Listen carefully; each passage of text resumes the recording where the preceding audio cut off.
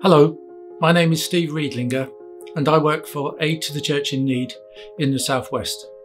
I cover the dioceses of Plymouth, Clifton, Cardiff and Menevia. My journey with Aid to the Church in Need began when I was a student and I was passionate about people that were persecuted. From there, I became a teacher and I combined my work as a teacher with volunteering for Aid to the Church in Need. And now I'm an employee of Aid to the Church in Need.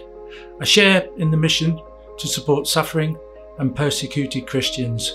And one of the things that's so special about Aid to the Church in Need is our ability to respond quickly to the suffering people around the world and our campaigning for persecuted Christians.